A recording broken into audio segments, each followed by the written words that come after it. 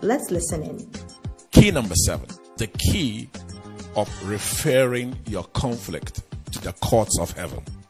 In other words, there is conflict, but you have decided that you are going to allow God to rule concerning the conflict. You must be a very spiritual person to be able to use this key. The reason is that when you try and use this key, it will be by faith. There will be nothing visible for you to know that God has taken your case into his hands and is working on it. What you need to do is just to believe in the scriptures, allowing the courts of heaven to rule in the conflict. You know, one thing that people forget is that God is a judge. In Hebrews chapter 12, verse 22, the Bible says, We have come to Mount Zion, the city of the living God, the heavenly Jerusalem, and to an innumerable company of angels. So here the Bible is talking about the believer, that when you become born again spiritually, you are transported into the kingdom of his dear son, which means spiritually, now you are a citizen of another country. Then in verse 23, Hebrews chapter 12, verse 23, it continues to talk about other things about the spiritual kingdom where God rules.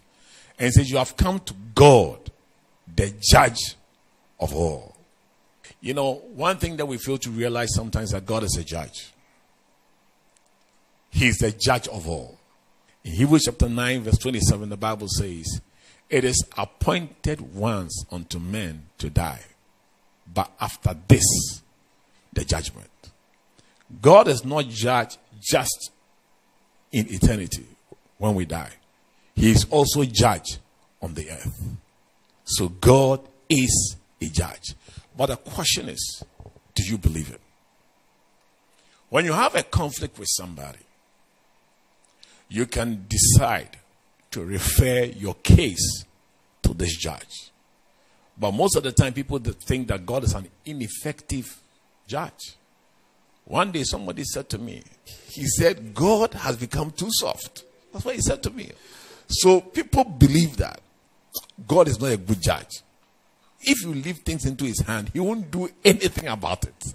In fact, you will be maltreated and nothing will happen. That's the idea that people have. But you know, in the Bible, there was a king called Nebuchadnezzar, a very wicked king.